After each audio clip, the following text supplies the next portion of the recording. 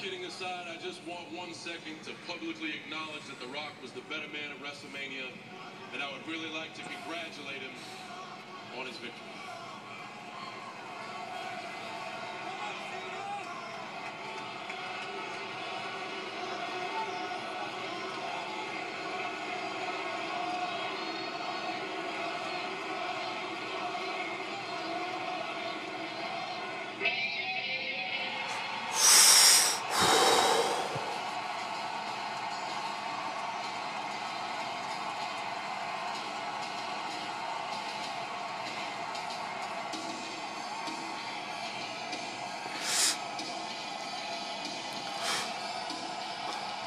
Oh my god.